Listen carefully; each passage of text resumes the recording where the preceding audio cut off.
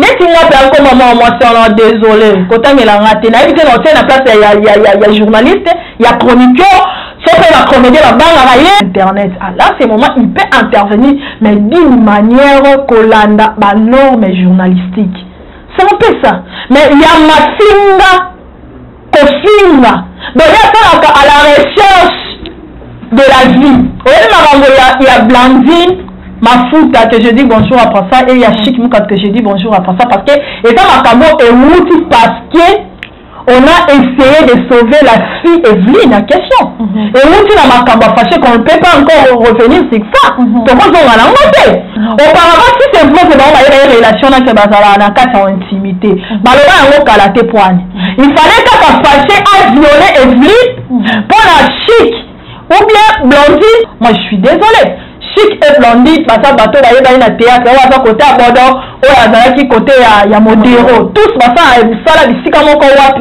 na lemba bango akela point positif zeze ana aza asinda mpe asa famille ya nani Etali nani soki azwi sida? Toto avant que sa ba vie na yo za ba djo na ye na bala bala nani abandaki kosimbele caleçon?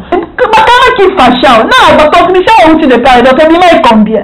C'est de n'importe quoi. Balingana na nanu te entre eux bango moko ba comedien. Pourquoi ozo trahir moninga na yo? Mutu okutu o être soki okokufa ye na papa ya mouta mukoni na na poto kuna soki bisika kaka na Canada po ya kisasa ya ko compatir na bino. Ya une fille journaliste qui s'appelle Myriam Mapula a Oyo lelo ba oyo bata bote mobala ba. Peu importe la situation, c'est sa vie.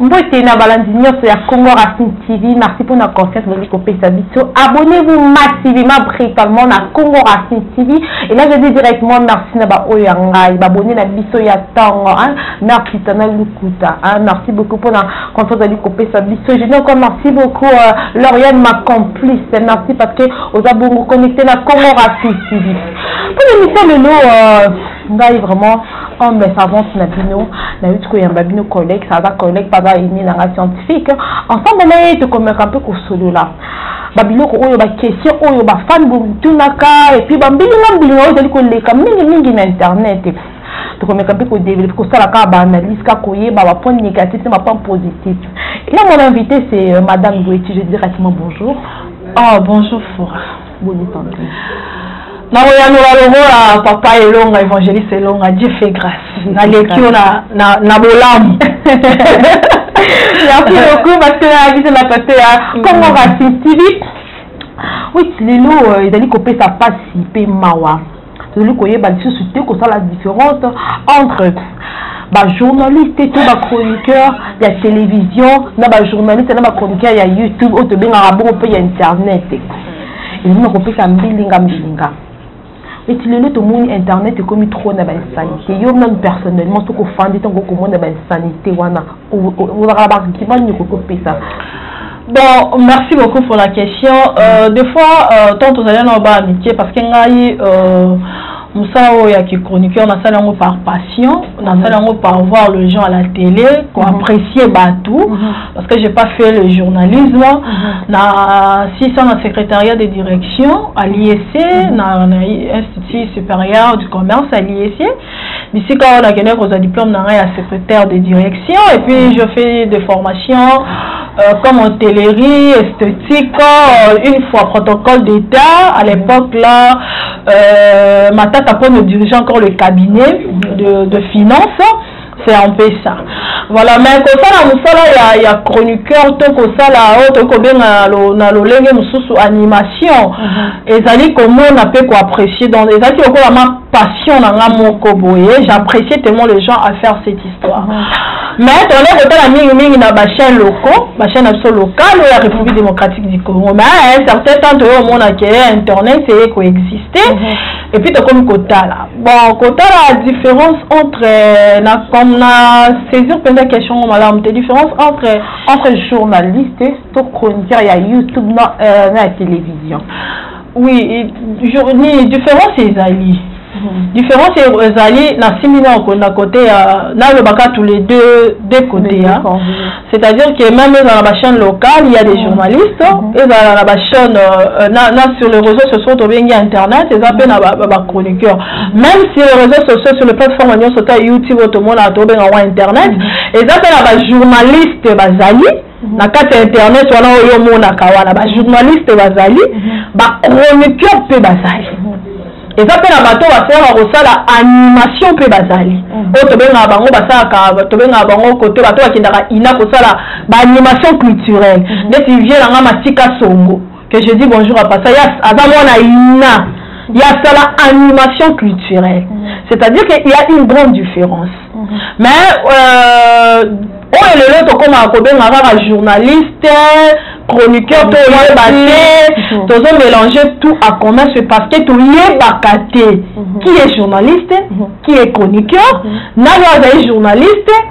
nani oyo azali chroniqueur parce que biso nyonso tu toyoki bengaka kaka bajournaliste parce que nini oyo euh, option yango eza journalisme mhm. c'est-à-dire que na kati ya journalisme nde tokobimisa babranche ya, ya journaliste na kati tokobimisa nini oyo oh, babranche ya, ya kichroniqueur na kasi mhm. mais différence ezalaka sur le plan local mais sur le plan internet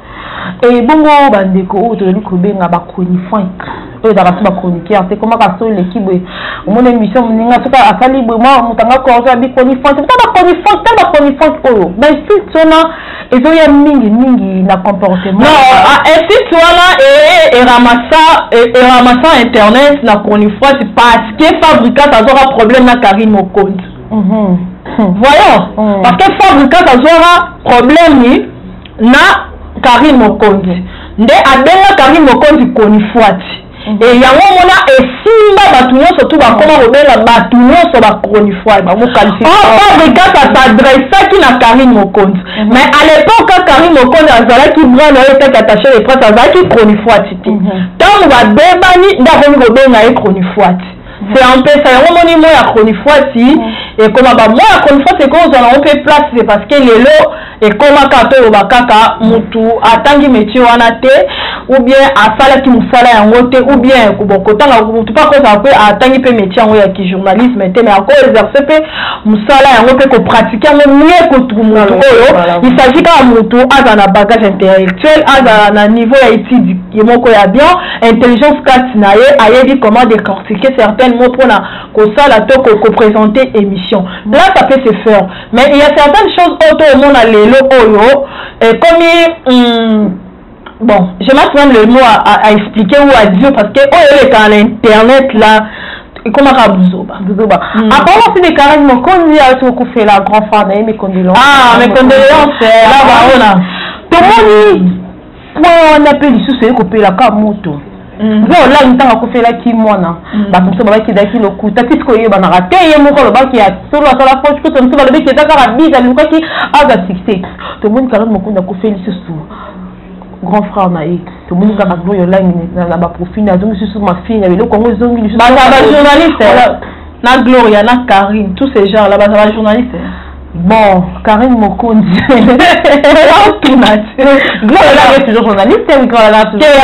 aza chroniqueuse carine mokonzi aza chroniqueuse tous mm. ces autres là ba chroniqueuse omoni lelo oyo oh, soki mm. internet mm. excuse moi le terme parce que nga nayebi ba internet oyo oh, ya bavie na biso basala na ba internet eza ba internet oyo nabeta ba internet ya ba 12 ans passé baye babeta na internet ya ba 12 ans parce babeta na internet ya lelo te lelo oyo soki internet ezwi sens te to bajournaliste bon nati bajournaliste te parce que so na ota na internet les journalistes il y a des journalistes oyo tokoki okobanda osala misapi oyo aza journaliste oyo aza journaliste mais il faut na bando réfléchir mpo nayeba nani yango na internet azala journaliste na yango mais ebele toza bachroniqueur mhm. ebele toza baanimateur culturel ebele toya oteka nzoto ebele toya oteka visage mm. eh, toza bongo toza différent mm. okata te moto nyonso toso asimbi micro aoloba par exemple esalela neti fi asala sans tabou otia journaliste okotia ye chroniqueur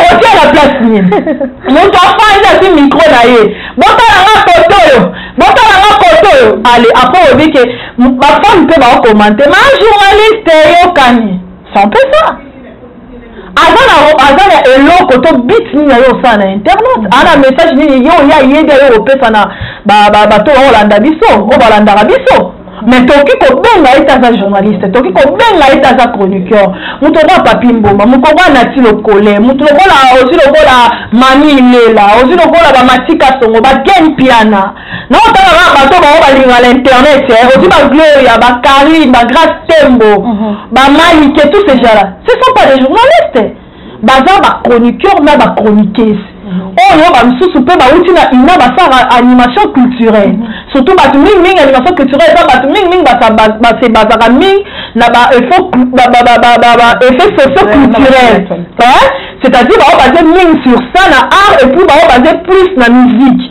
yango komona babengaka bango baanimateur mpe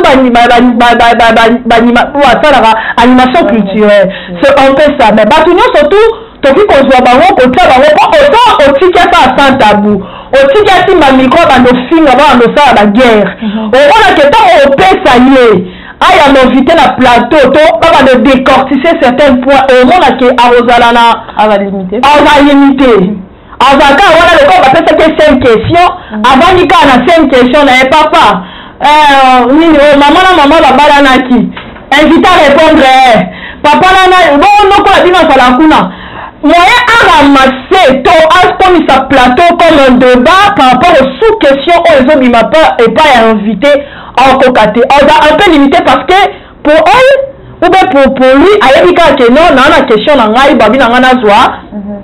c'est ça un peu ça mais quelqu'un qui a, a oyo ayebi métier na ye oyo ayebi osala mosala na ye oyo ayebi ce qu'il fait avant na bagage aza mayele il sait comment on a préparé il y a toujours un agenda de préparer toujours O preparer euh, emission na yo très bien là, o preparer yango et puis oye oyebi ke ba sous question na ngai ezala bo. Tant invité otuna nga ezala bo sans pesa.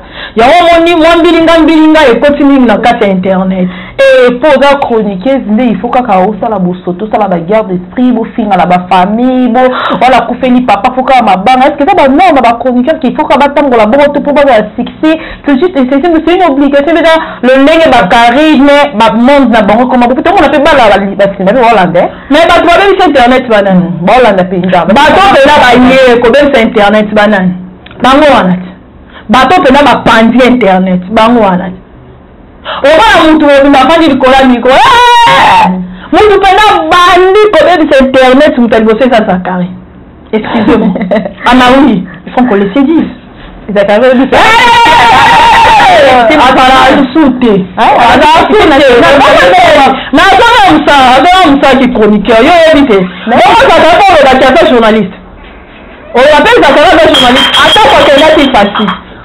asala ata leta akomaki depute ye ko non ki depute wana toke na ba angle mosusu toke na ba fonction mosusu on parle sur le journalisme on parle sur l'internet toolobela ba chroniqueur na ba chroniqueuse yango yango soki internet lelo ebebi parce que bato baye internet liboso balakisi biso nzela ya malamu te parce que tout ça bato balingi kocreye base mpo soki bafingani bakotalama en réalité soki olandeli makambo wana eza makambo ya solo te parce que bato baka na poto bakanisaka makambo motu eleka na gisha te ezala makambo ya solo surtout bakofingana wana mosusu ya mosusu bayokanaka na bango ngana ndete eza kofura tofingana bato bakokanisa yango eza ya solo mhm.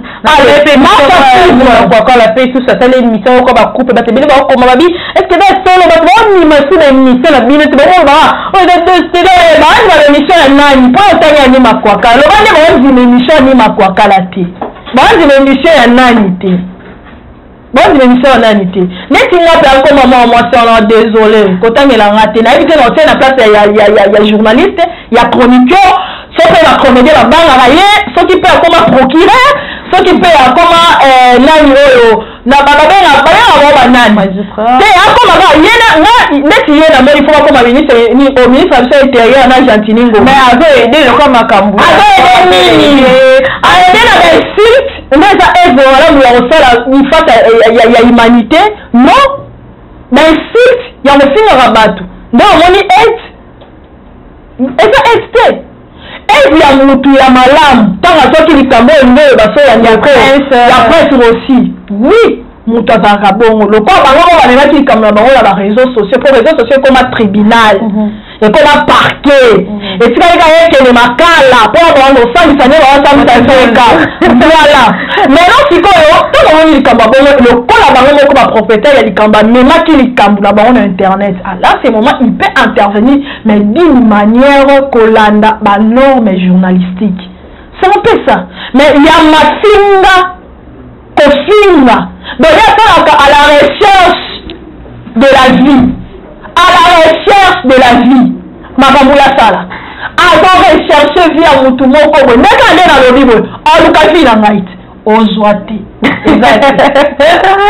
ozalabi akozwa te obalanga asa teyatre mpo ya bazala mingi na bato ya teyatre yo somoni afinga journaliste nini afingaka bajournaliste comédien na finga pe ba si ba reza da para te après tout oh ba reza ba non en non pas théâtre oh ba reza ba ta théâtre et télé le nom oyo baza sur les réseaux sociaux baza ba frère na biso oyo bazo sala musala ya ya ki comédien ou comédien bazo sala musala wana ya ba komi pe ko exercer musala wana ya télé le soko beta passe ba lobi le soko moni euh journaliste atoko komitia na youtube kaka abata théâtre atiki théâtre anima bino comprendre théâtre ezofuta lisusu te te nini oyo aloni elamuki ye mpe akomi kaka journaliste eh, kokoma journaliste nayo so oyebisa yo ti moto yango okoma journaliste par passion moto yango okoexerce mosala ya kichroniqueur parce que alingaka yango mhm. obi asepela na yango amoni ke akomi mhm. mais ntango olingi omemanga na stade ke bacomédien kaka bango wana bakomi nini mpo ani bamindele basala misala ebele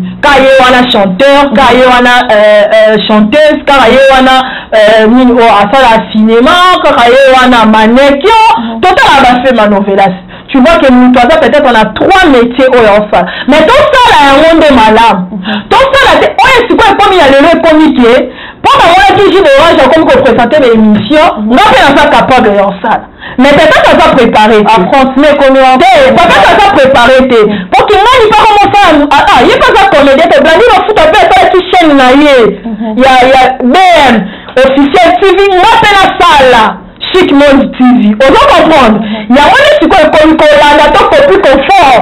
nde sikoyo ekomi mabe me ntango osala mosala oyo olingi to osepeli na kosala yango eza mabe te parce que motu moko soki motuna ekofonctionne ekosala oza capable ya kofonctionne tous les métiers que tu veux embrasser hein, peu n'importe okoti formation osali et voilà et ok na yo wa ngai lelo nakoyeba na ngai okokamwa nakoverse mosala lokola secrétaire de direction dans une entreprise na travaille na administration très bien mm -hmm. Aujourd'hui soki oye na nga na kota ba place comme soki ata yango monanga nde nasala coiffure na kati ya bamarie nasala yango okokuta ngai mpe na mosala ya oteleli kolamba wana eza don voyons naye na embrasse mosala ya kichroniqueur oyo tobenga yango na ndenge na yango ya respect journalisme tu vois na ndenge ya bongo eza mabe te eza dépendre na niveau ya capacité ya intelligence na ngai na savoir faire na ngai Sans savoir faire na nga ekokoka kosala makambo wana nyonso. Tunakosala yango, il n'y a pas de mal. Le mal en est que ekomi que to projecter mosala wana lolenge esengeli te. Tozosala yango te, tokomi lokola koya lokola ba règlement de compte ekomi na kati. Tokomi kosala makambo mpo kingani asalaki makambo boye, nga mpe mpo nasala. Tokomi kolula mpe kokopie baninga. Nde yango omoni ke eyemba moko ebebisi. Mais koyeba ke ba comediens motu babebisi internet te. Parce que à l'époque, Kole Carine Mokonzi, le Mathy Kasongo, le Gloria faisait les emissions le Ken Mpiana ba comediens ebele bazalaki te mpo na kosala mosala lelo ya journalisme non depart ya bango moko baoyo bakenda ifasike yango na baoyo bakenda te baoyo bakenda banini oyo oyo babenga yango inala baoyo bakenda te baoyo mpe baza baformation peut-être na inpp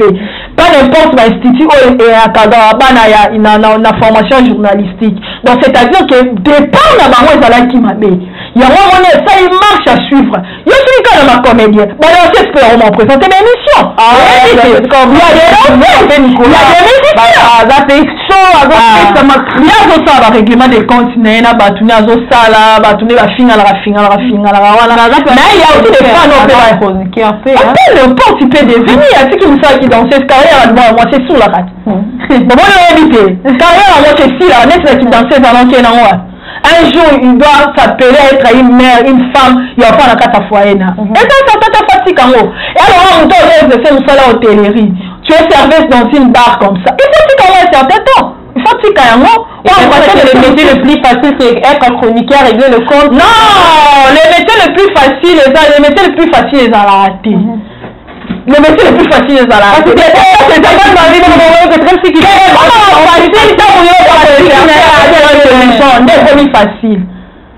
nde ekomi facile lelo twana ekoloba ni bana baza desespere na vie mm. basi mare mm. nde babakake bango nde basala mosala ya couture mm. ya nini aujourd'hui on le voit maintenant sur le plan journalistique ekomi okoramase tout le monde mm-hmm. c'est à dire que moto amoniki aza capable ya koexerce mosala wana comme il faut il peut le faire mais mutu oyo bazomona ke aza mpenza te facile eza eza eza oyo oh, ndeko na ngai yamsi yamba alobaka nini o oh, nini o oh, comment comment je peux je peux placer les mots euh, travail moko euh, intellectuel euh, travail moko boye oyo ah, travail moko esprit donc il faut que c'est concentré mhm. pour venir dire des choses à la télé mpona bato bayoka ozala convaincu eza mosala moko ya esprit eza mosala moko boye eza facile te bango bango nango facile parce que avandi ayebi ke neti mamululu baana aza wakasa ya wambe na fi moko sivete ya danseuse eh ayaka yo sivete yo omoni quelle est le prise de la communication qu'il donne eza te prise de communication eza te durant émission na bandaki un ti asukisi na o qu'est-ce que ba ba téléspectateurs ba retenir durant ba information ni ba tirer na kati wana Eza bien sa mpe sa wana kobenga bango lobi eke aza chroniqueur aza journaliste to aloyala ye kosala animation de betise sur betise mm. Oui, tu n'as pas open na plateau na ko profiter. Tout le monde est mission que ça là ni moi mi balé to mi ça ta papa chic nous kanina blandine et puis tu moi pas chic nous kanada marié avec la famille naie mais tout le monde peut même un journaliste moi ka pole ya ya ya mboka libanda basali mwa deux émission mpenza ah mpe ya kini mwa deux ou quatre émission mpe babi ke blandine abimaka na chic mwasi ne tutu consort okoloba eloko nini bajournaliste chic moko ndenge nasala émission na ye naoloba direct aboyaki abi déjà baémission oyo oyo basali na edeatali apesa zwa de réponseaboyaki est ce que journaliste professionnel to chroniqueur moko okosala recherche moko peut-être approfondi te mbala moko oyoki obrise foyer moko okokabola mpe règlement de compte Oyebi makambo ya, ya Blandine mafuta que je dis bonjour après ça et ya chic mukat que je dis bonjour après ça parce que eza makambo ewuti parce que on a essayé de sauver la fille Evelyne en question ewuti na makambo ya fache qu'on ne peut pas encore revenir sur ça tokozonga nango te source na yango euti kuna auparavant si c'est vrai que bango bayebaki relation na ke bazalaka na kati ya intimité baloba yango kala te poani il fallait kaka fache a viole evlin mpo na chic ou bien blondine etant que afa mosala etant que euh, comédien etant que chroniqueur oyo aye koanime mpo na ndeko mwasi ayaki ko kolelela ye epuis shiki en personne aza mwana oyo encadraki to asalaka na administration ne na bureau na ye il fallait retour nango epesama bongo moi je suis désolé chic et blondie baza bato bayebani na théâtre oyo aza kote ya bodo oyo azalaki kote ya, ya modero tous basala misala bisika moko wapi na lemba soki batelemi to basololi nde bakomi makambo to bavandi to basolola nde bakomi mwasi to mobali Non je suis desolee pour ça meme si ba pourquoi yango eloko naloba ba intimité ya bato mhm. to bamariage to bacouple ya bato to barelation ya bato koya omema yango na réseau internet mpona nini internet eza na mposa yango wana mhm. soki yango kaka tele réalité koma famille kardashian zotelete nini oyo nini babenga yango nini ndenge tokomona boye tata kamerama ya tie biso kamera boye aa kosala batele réalité na yo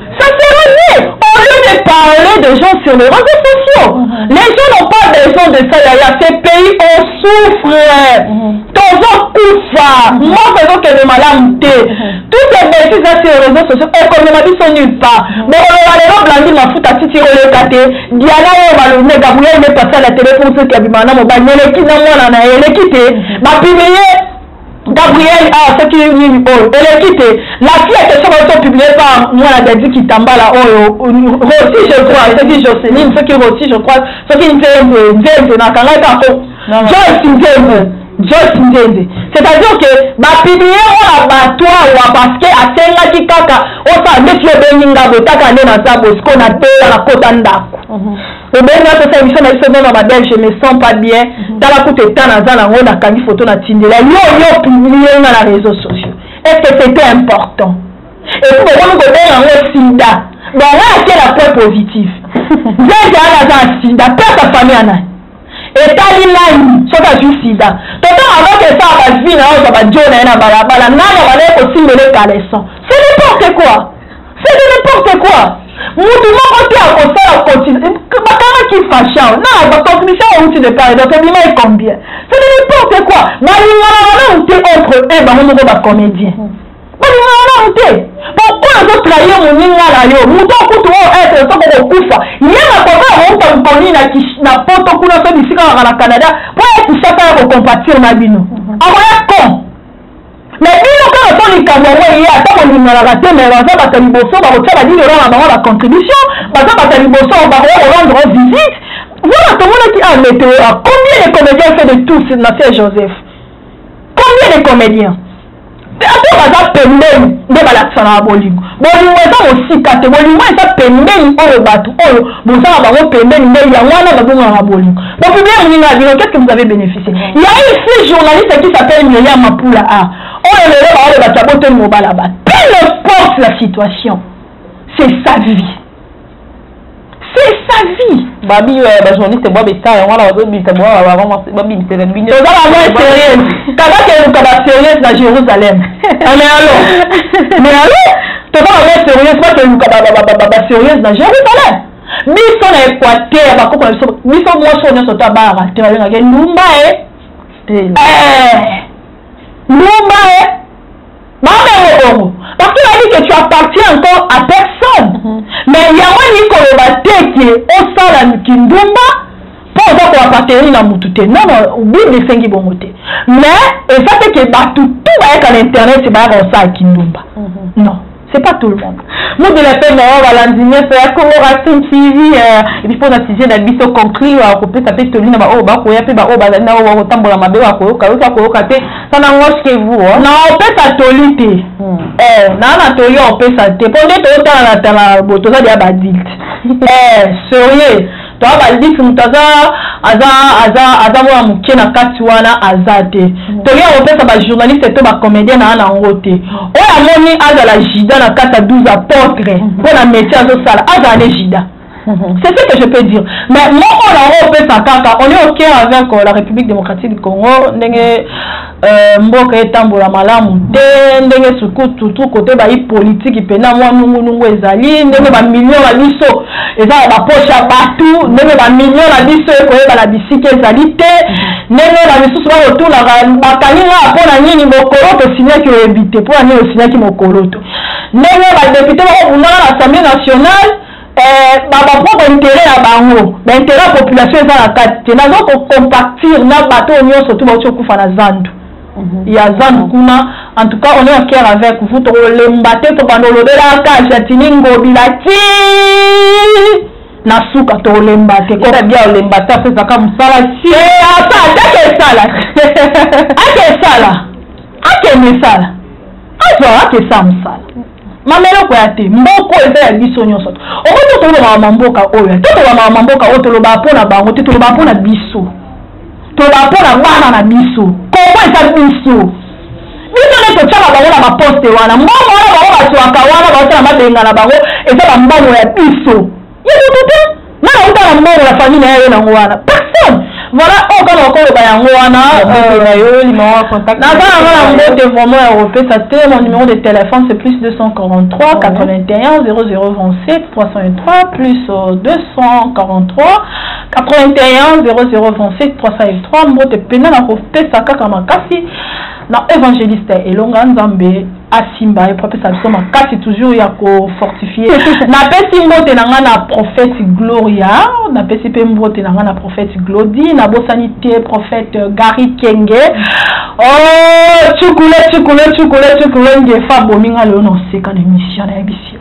on se retrouve. Eh, j'ai dit. merci merci à mon tontachi de Rwanda merci beaucoup évangéliste elonga mpo azalaka toujours wana mpo na kaka kotia biso notellement loboko me koyedenga mpe tutu mpo na bino nyonso